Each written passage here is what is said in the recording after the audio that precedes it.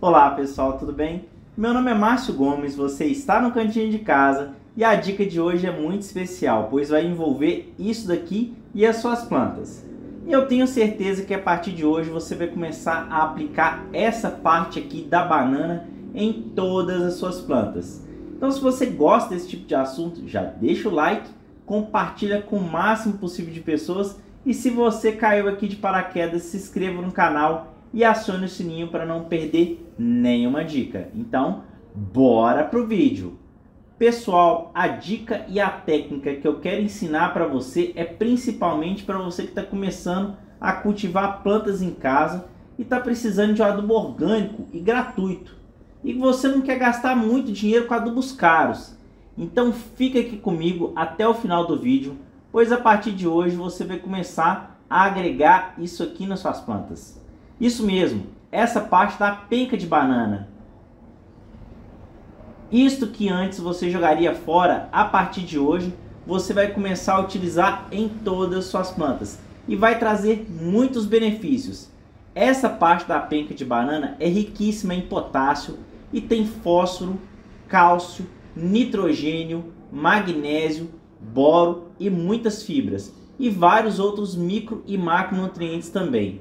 Portanto, nunca mais jogue fora esse tipo de material. Portanto, a partir de hoje, você não vai mais jogar fora e vai aproveitar em todas as suas plantas.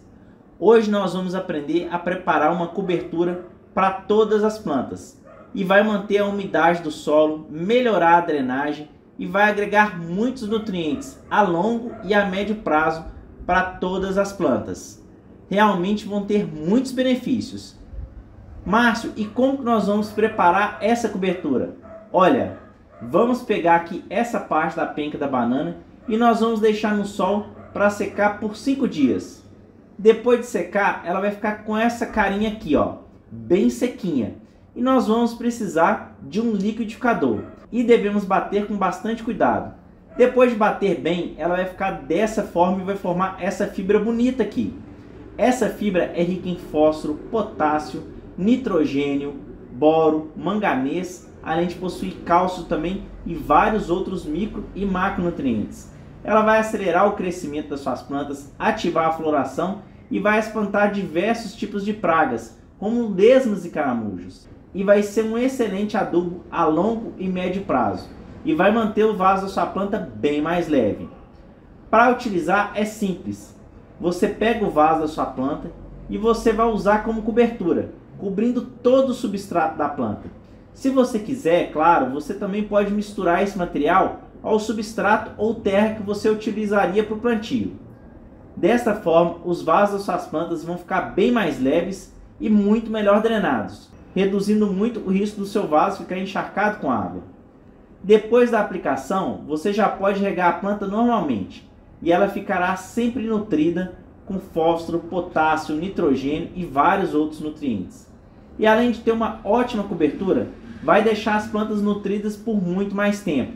Olha, você pode utilizar em todos os seus vasos de plantas e o resultado vai ser realmente surpreendente. Se você gostou da dica, já deixa o like, compartilha com todos os seus amigos. E se você está aqui comigo até agora, diga aqui para mim nos comentários, eu quero, para me saber que você gostou dessa dica aqui e eu faça outros vídeos parecidos como esse aí para você. Te convido a continuar com a gente, conferir essa outra dica aqui também. Então aquele abração aí para você, fique com Deus e até o próximo vídeo. Tchau, tchau! A Antura é lindo demais, né? Tchau, tchau!